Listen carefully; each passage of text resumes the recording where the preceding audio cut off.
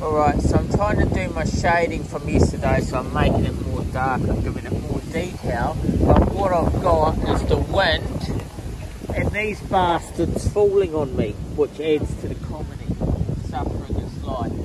And we've got people walking, so there's the buildage, there's the clockage, buildage, stairsage, that are in here'sage, so more detail acorns falling on me, people walking by thinking this cunt's a sack of shit.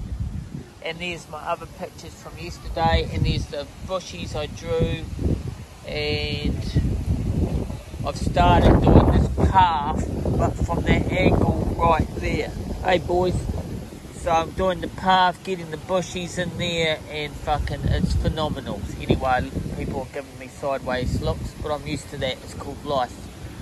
So, boom.